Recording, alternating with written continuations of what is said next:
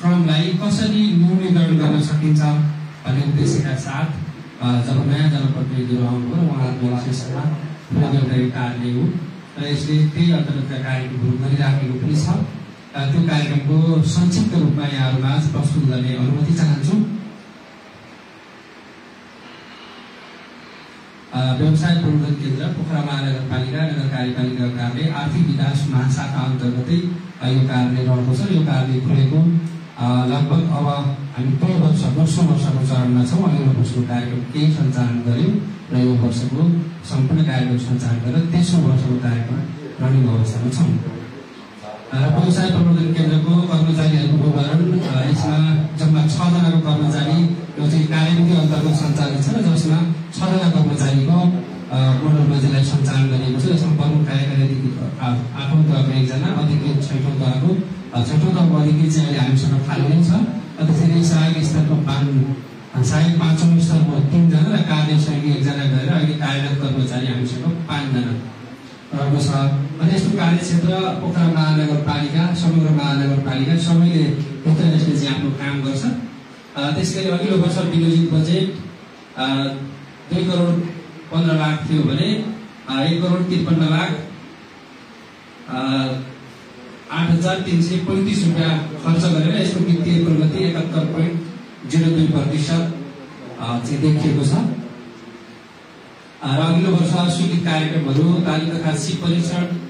प्रशासनिक खर्च व्यवस्थापन सँगसँगै तलब भत्ता कर्मचारीको व्यावसायिक प्रणाली सुधार कार्यक्रम व्यवसायिक विकास कार्यक्रम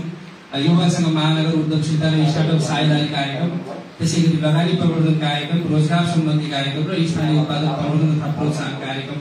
भनेर यसरी कार्यक्रम गरिएको थियो। जसमध्ये चार नम्बरको कार्यक्रम हाम्रो अघिल्लो वर्ष तिस लाख रुपियाँ विनियोजन गरेका थियौँ यो कार्यक्रम हामीले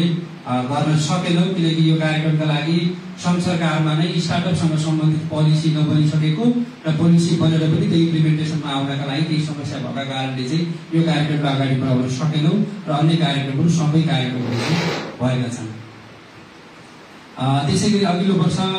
हामीले सञ्चालन गरेका तालिमहरू जसमा बाल विकास सहजकर्ता ब्युटी पार्लर कुक पञ्चबाजा टेलरिङ तथा हाते कढाई सामुदायिक पशु सेवा सहायक सवारी साधन मर्मत जसमा कम्बो गरेर हामीले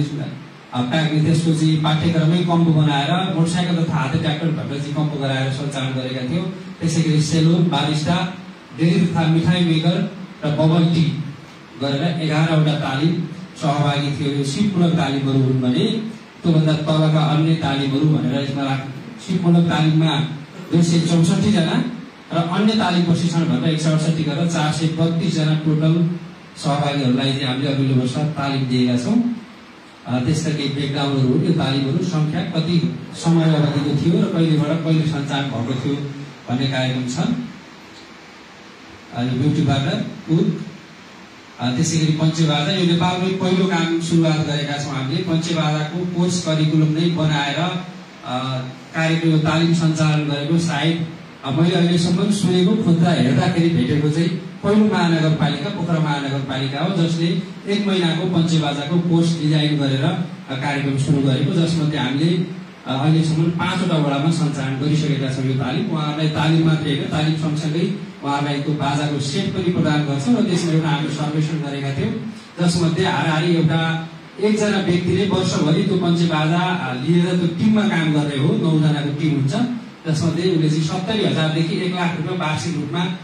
त्यो कार्यक्रमबाट चाहिँ प्राप्त गर्ने चाहिँ देखिएको थियो महिला महिला मात्रै पञ्चबाजा अ, र त्यसमध्ये महिलाको मात्रै पञ्चबाजाको टोली चाहिँ वडा नम्बर चौधमा हामीले अघिल्लो वर्ष सुरु गरेका थियौँ। पुरुषको मात्रै चाहिँ वडा नम्बर चौबिसमा र अन्यमा चाहिँ मिक्स हुनुहुन्छ। र यसमा हामीहरूले केही जानेका र केही जान्दै नजानेका गरेर सेभेन्टी थर्टी वा त सिक्सटी फोर्टीको मोडलमा चाहिँ यो कार्यक्रम चाहिँ सञ्चालन गर्छौँ। त्यसै गरी टेलरिङ तथा हाते कढाई यो पनि यो वर्षदेखि हामीले कम्बो बनाएका छौँ यो कार्यक्रमलाई पनि। हाते कढाईको तालिम छुट्टै र टेलरिङको तालिम छुट्टै भएका कारणले यसमा चाहिँ अलिक प्रभावकारी देखिएन कि भन्ने हिसाबले यसलाई पनि यो वर्षदेखि हामी कम्बो गरेर तिन सय नब्बे घन्टाको कोर्समा पन्ध्र दिन जति चाहिँ हाते कढाईको सिकाउँछौँ भने अन्य बाँकी दिन चाहिँ टेलरिङको कोर्स सिकाएर चाहिँ काम गरिराख्नु भएको छ।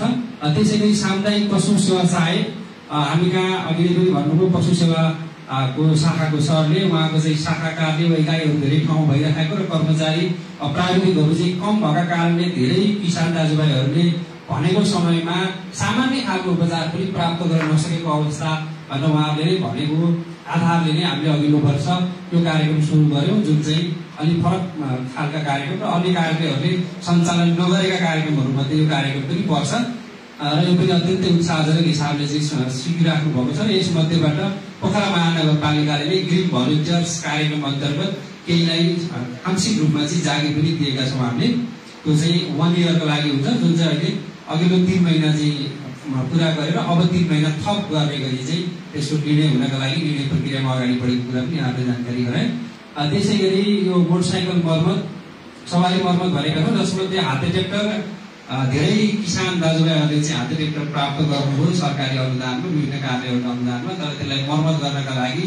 केही ठाउँमा मात्रै त्यसका चाहिँ मर्मत केन्द्रहरू भएका कारणले उहाँहरूले चाहिँ धुवानीमै बढी खर्च हुने वा चाहिँ उही लगेर चाहिँ सिउ चल्दाखेरि मात्रै त्यसको चाहिँ मर्मत पाउने भएका कारणले यसका लागि चाहिँ सकेसम्म ग्रामीण क्षेत्रका वडाहरूबाट चाहिँ समेटेर यो कार्यक्रमले सञ्चालन गरेका थियौँ यसले केही राम्रो काम पनि गरेको फिडब्याकहरू पनि हामीलाई अहिले आएको छ। त्यसै गरी सेलुन अ, साँच्चै नै भन्ने हो भने पोखरामा हेर्ने हो भने हाराहारी आठ सयभन्दा माथि चाहिँ विशेष गरी छिमेकी मुलुकका सेलुन सञ्चालकहरू हुनुहुन्छ भन्ने चाहिँ डेटामा देखाउँछ आधिकारिक डेटा चाहिँ त दर्ता नभएसम्म त्यसलाई आधिकारिक मानिँदैन तर दर्ता भएको पनि हाराहारी तिन सय प्लस चाहिँ घरेलु तथा साना उद्योग कार्यालयमा दर्ता भएको देखिन्छ जसमध्ये अधिकांश चाहिँ हाम्रो छिमेकी मुलुकका दाजुभाइहरूले सुरु गर्नुभएको छ र केही केही अहिले पछिल्लो समय अलिक व्यवस्थित सेलुनका रूपमा चाहिँ नेपाली दाजुभाइहरूले पनि सुरु गर्न लाग्नुभएको र लागिराख्नु भएको छ र यसको चाहिँ ट्रेनरहरूको पनि अलिक समस्या भएका कारणले ट्रेनर पनि उत्पादन गर्न सकियोस् भन्ने उद्देश्यका साथ चाहिँ यो तालिम सञ्चालन गरेर त्यसमध्ये केहीले सिटिभिटीको अहिले परीक्षा पनि दिनुभएको छ।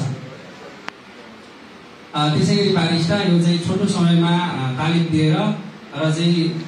रोजगारी वा विशेष गरी चाहिँ विद्यार्थी पढ्ने विद्यार्थी भाइ बहिनीहरूका लागि बिहानको समय वा दिउँसोको समयमा चाहिँ क्याम्पस कलेज जाने र बाँकीहरूको समयमा चाहिँ यो तालिम लिएपछि विभिन्न कफी सपहरूमा चाहिँ जागिर यथेष्ट मात्रामा प्राप्त हुने भएका कारणले र यो सँगसँगै वैदेशिक रोजगारमा जानेका लागि पनि यो अत्यन्तै राम्रो तालिमका रूपमा मानिएको हुँदा यो पनि हामीले अघिल्लो वर्ष सञ्चालन गरेका थियौँ। त्यस सँगसँगै डेरी तथा मिठाई मेकर तालिम यो सञ्चालन गर्न अलिक गाह्रै पनि रहेछ किनकि पोखरामा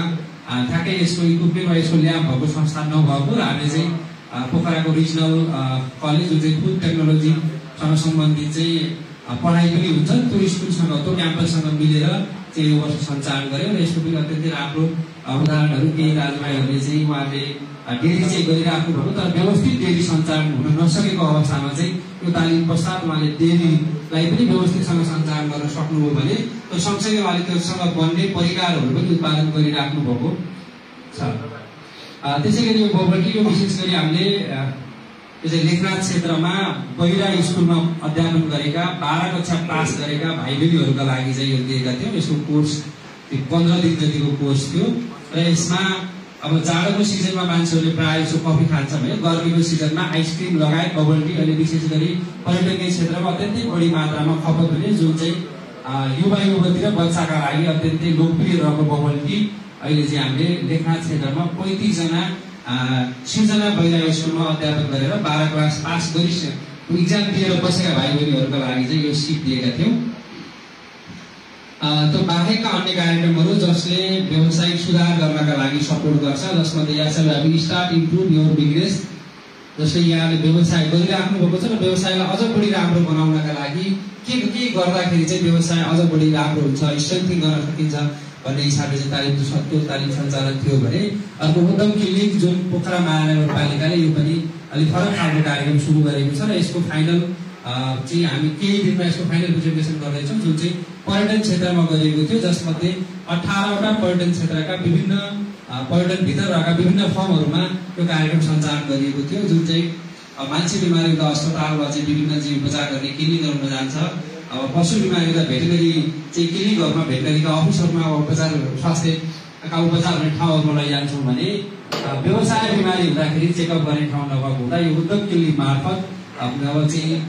जो व्यवसाय बिमारी छ वा मेरो व्यवसाय बिमारी छ कि मेरो व्यवसायमा मैले सोचेअनुसारको उत्पादन सोचेअनुसारको फाइदा लिन सकिनँ भनेदेखि चाहिँ यो उद्यम क्लिनिक मार्फत यहाँले आफ्नो व्यवसाय चेकअप गर्न सक्नुहुन्छ। जुन चाहिँ हामीले पर्यटन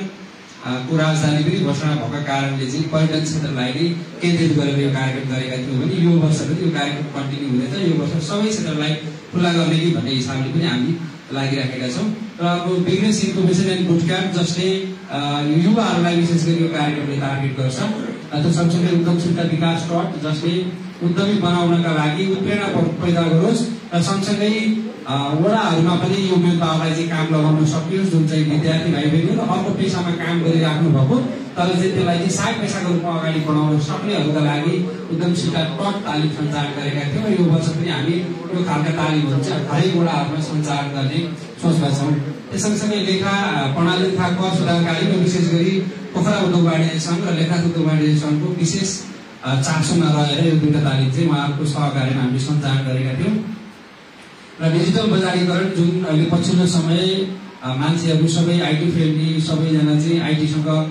फ्रेन्डली हुन सकेन भने अब व्यवसाय चल्दैन। व्यवसाय चल्नका लागि मुख्य बजारमा मुख्य सहरका मुख्य ठाउँहरू मात्रै सटरमै बसेर मात्रै व्यवसाय हुँदैन। यो चाहिँ डिजिटल मार्केटिङ गर्न सक्यो भने देशका वा चाहिँ घरका जुनसुकै ठाउँमा राखेर पनि व्यवसाय सञ्चालन गर्न सकिन्छ भन्ने उद्देश्यका साथ विशेष गरी यो युवालाई लक्षित गरेर आयोजना गरिएको कार्यक्रम हो डिजिटल मार्केटिङ जुन चाहिँ एक महिनाको कोर्स कन्टेन्टभित्र रहेर उसले विभिन्न खालका चाहिँ आफ्ना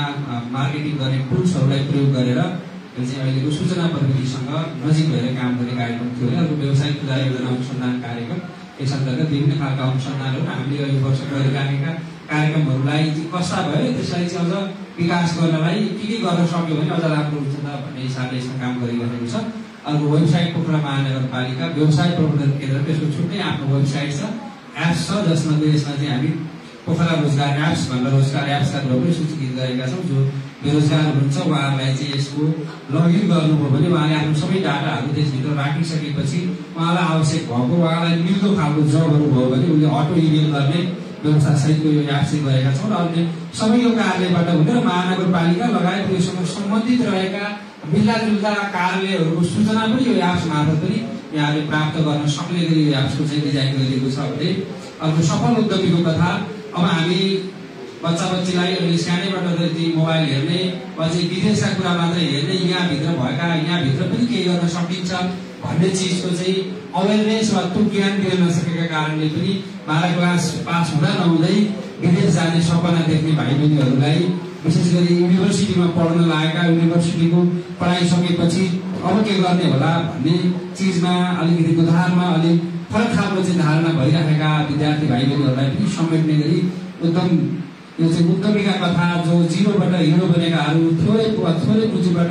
लगानी गर्दै जाँदा अहिले पछिल्लो समय एउटा सफल व्यवसायका रूपमा स्थापित व्यवसायहरूलाई चिनाउने त्यो सँगसँगै उहाँका प्रेरणाले यहाँ के गर्न सकिन्छ है भन्ने चिज गराउन सकिन्छ कि भन्ने उद्देश्यका साथ चाहिँ यो कार्यक्रम सञ्चालन गरिएको थियो यी तालिमहरूका झलकहरू यासआइआइबी जसमा चाहिँ यासआइआइबीमा हामी चाहिँ यो के अरे सञ्चालन गरेका थियौँ त्यो सँगसँगै हाम्रो चाहिँ उद्यम केन्द्रीको यो चाहिँ फाइनल रिपोर्टको उसो त्यो सँगसँगै हामीले गरेको र यो वर्षको उपलब्धिको कार्यक्रमका रूपमा पनि रहेको यो पोखरा एरिया मार्टको यो चाहिँ लुम्लेमा गरिएको त्यसका विज्ञहरूसँग गरिएको यो चाहिँ बुट क्याम्प थियो जुन चाहिँ क्लोज क्याम्पका रूपमा तिन दिन लुम्लेको कृषि अनुसन्धान केन्द्रहरू सञ्चालन गरेका थियौँ। र यो उद्यमशीलतासँग सम्बन्धित तालिमको कुराहरू रह्यो यो लेखासँग सम्बन्धित त्यसै गरी डिजिटल मार्केटिङ र सफल उद्यमीको कथा हामीले हरि पाण्डे र भवानी राणालाई ल्यायौँ भने अर्को हामी चाहिँ रोजगार मेलामा लकी कार्कीलाई पनि लिएर आएर हामीले तेस्रो एपिसोडसम्म अहिलेसम्म गरिसकेको अवस्था छ। र यस क्षेत्रमा अर्को कार्यक्रम छ व्यवसाय विकास कार्यक्रम जसमा पोखरा आइडियामा व्यवसाय विज्ञहरूको रोस्टर र हामीहरूसँग अहिले महावीर पुल लगायत सम्बन्धका व्यक्तिहरूको रोस्टरमा व्यावसायिक रोस्टर र विज्ञहरूको रोस्टर गरेर उनपचासजनाको चाहिँ विज्ञ रोस्टरहरू चाहिँ हामीसँग रोस्टेड भइसक्नु भएको छ यहाँहरूसँग पनि त्यस्तो विज्ञता केही छ यहाँहरूले पनि चाहिँ म आफूले जानेको सिप आफूले जानेको ज्ञानलाई अरूलाई पनि हस्तान्तरण गर्न चाहन्छु चाहे त्यो स्वयंसेवीको रूपमा होस् या चाहिँ भलिन्टियर होस् या चाहिँ केही वा थोरै मात्रै पारिश्रमिक लिएर पनि गर्न सकिने गरी त्यसलाई चाहिँ त्यो मोडलमा सञ्चालन गरिएको छ र यसमध्ये अर्को एउटा कार्यक्रम थियो यसमा ग्रिन भलिन्टियर्स जुन चाहिँ अहिले हामीले एघारजनालाई विभिन्न तालिमहरू लिनुभएका व्यक्तित्वजीवहरूलाई वडामा काम गर्नका लागि वा विभिन्न वडा क्षेत्रगत हिसाबले तोकेर काम लगाइराखेका हौँ जसमध्ये चाहिँ दुईजना मन्टेश्वरी शिक्षणमा हुनुहुन्छ जुन चाहिँ अत्याधिक बढी मात्रामा विद्यार्थीहरू चाहिँ इन्ट्री हुने वा सानो अ, भर्खरै चाहिँ पढ्न आउने भाइ बहिनीहरूलाई पढाउनका लागि दुईजनालाई राखेका छौँ भने अरू त्यसै गरी चारजना जति चाहिँ कृषि र पशु क्षेत्रमा कार्यरत हुनुहुन्छ त्यसै गरी अन्य ठाउँहरूमा पनि यो इलेक्ट्रिसियन सामान्य खालको चाहिँ बत्ती बिग्रियो। केही बिग्रियो भने पनि दिनभरि वडाको चाहिँ कार नै रोकिने टेक्निसियन नभएका कारणले भएका कारणले हामीले दुईवटा क्षेत्र छुट्याएर विजयपुर बारी र विजयपुर पारी गरेर दुईवटा टेक्निसियन राखेका छौँ। उहाँहरूले चाहिँ जुनसुकै वडामा चाहिँ समस्या पर्ने बित्तिकै गएर चाहिँ क्विक रेस्पोन्स गरेर त्यसलाई चाहिँ मद्दत गरेर सेवाग्राहीलाई सेवा प्रवाहमा चाहिँ सकेसम्म छिटो छरितो बनाउनका लागि काम गर्ने गरी गरेका छौँ। र अब यो पोखरा एरिया मार्टको फाइनल प्रेजेन्टेसन हो जसमध्ये यसमा एउटा हाम्रो पोखराको लागि एउटा एचिभमेन्ट पनि भएको छ। हाम्रो यहाँको विनर जो हुनुहुन्थ्यो टिआरएफ साइकल भन्ने एउटा टिम थियो जुन चाहिँ पोखरा विश्वविद्यालयमा पढ्दै गरेका भाइ बहिनीहरूले चाहिँ सञ्चालन गर्नुभएको। यो चाहिँ टायर जुन चाहिँ हामीले फालेको प्रयोगमा प्रयोग भएर अब त्यो चाहिँ फाल्ने अवस्थामा रहेको टायर प्रयोग गरेर त्यसका विभिन्न आइटमहरू बनाएर बजारमा बेच्न सकिने गरी उहाँहरूले एउटा प्रोजेक्ट प्लान गर्नुभएको थियो र त्यो चाहिँ हाम्रो विनर मात्रै भएन। उहाँहरू चाहिँ वर्ल्डकै टप टेनभित्र परेर स्टार्टअप वर्ल्ड कपमा अमेरिकाको सेप्टेम्बरमा अमेरिकामा हुने वर्ल्ड कपमा चाहिँ उहाँहरू सहभागी हुनुहुन्छ छिहत्तरवटा देशहरू मध्येबाट नेपालबाट उहाँहरू मात्रै एउटा टिम सफल भएको छ। यो चाहिँ हाम्रो लागि एउटा उपलब्धि पनि हो किनकि हाम्रो विनर वर्ल्डको वर्ल्ड कपमा चाहिँ उहाँ च्याम्पियन भएर टप टेनभित्र परेर सेप्टेम्बरमा उहाँ चाहिँ प्रेजेन्टेसन आफ्नो चाहिँ प्रोजेक्ट प्रेजेन्टेसन गर्न जाँदै हुनुहुन्छ। हामी सबैले चाहिँ उहाँलाई उस गरौँ। त्यहाँबाट पनि उहाँ चाहिँ उस हो भने हालहालै एक करोड जतिको अमेरिकन डलर एक करोड बराबरको उहाँले चाहिँ त्यो फन्ड पनि प्राप्त गर्नुहुनेछ। र जसमा पैँतिसवटा आइडियाहरू थिए। ती आइडियाहरूलाई हामीले विभिन्न चरणहरूमा चाहिँ छनौट गर्दै पैँतिसबाट सत्र सत्रबाट चारवटालाई फर्स्ट सेकेन्ड थर्ड र विनर गरेर त्यसरी चाहिँ गरेका थियौँ। र व्यवसाय विज्ञानको कुरा अघि मैले भने उनी पचासजना चाहिँ हामीले रोस्टर गरिसकेका छौँ र यहाँहरूसँग पनि त्यस्ता हुनुहुन्छ वा कोही यहाँहरूको चाहिँ सम्पर्कमा हुनुहुन्छ भने पनि उहाँहरूले